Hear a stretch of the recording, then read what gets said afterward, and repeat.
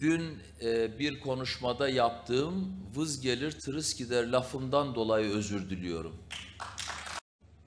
Bir fotoğrafla linç edilen, yok sayılan, tabiri caizse, caizse kaptanlığını yaptığım gemiden inilen ya da otobüsünden inilen, artık yok sayılan, oy vermem, şunu yapmam denilen bir kişi durumuna düşünürse insanın kalbi kırılıyor, canı yanıyor, birkaç cümlede yanlış laf kurabiliyorum.